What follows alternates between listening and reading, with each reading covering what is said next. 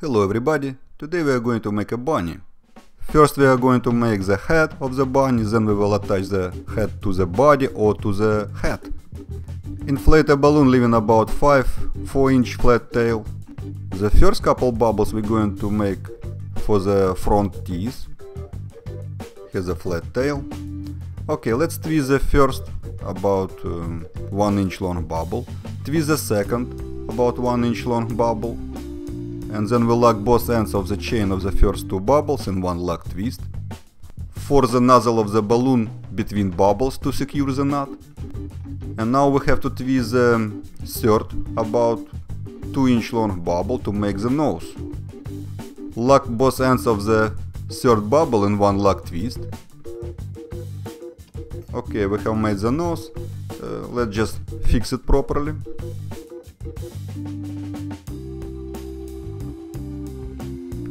Then twist the fourth, about 2 inch long bubble. The fifth about 5 inch long bubble. And then we lock both ends of the fifth bubble in one lock twist. Twist the sixth about 5 inch long bubble. The fifth and the sixth bubbles should be the same size. Lock both ends of the sixth bubble in one lock twist.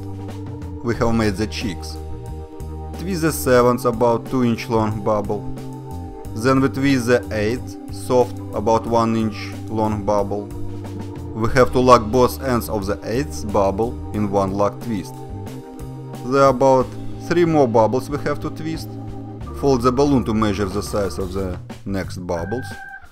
So let's twist the 9th about 5 inch long bubble, twist the 10th about 5 inch long bubble, Lock both ends of the chain of the last two bubbles in one lock twist.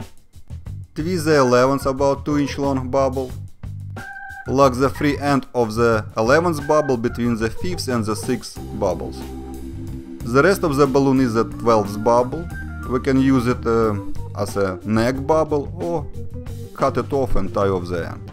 The 8th bubble uh, keeps the ear bubbles in proper positions.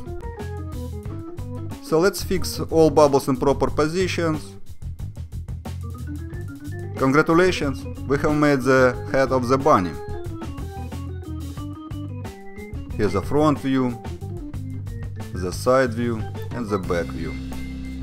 As always we can use a permanent marker to add some details, to draw eyes, to draw nose, uh, couple lines here, there, nose in uh, shape of heart, we can attach this uh, bunny head uh, to any head or to a body.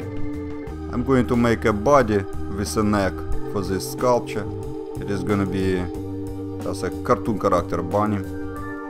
We can make uh, many different bodies. On uh, my website fewdoit.com you may find links to detailed instructions how to make uh, various bodies. You're welcome always to check it. Okay, the body is ready. Now we have to attach the free end of the neck bubble between the bubbles of the bunny's head. Again, let's fix all bubbles in proper positions. And of course we can use different color balloons to make the bunnies. Most common colors pink for girls, blue for boys. Alright, congratulations again. We have made a cartoon character bunny. If you have any questions, Feel free to ask, leave comments. Have fun and happy twisting!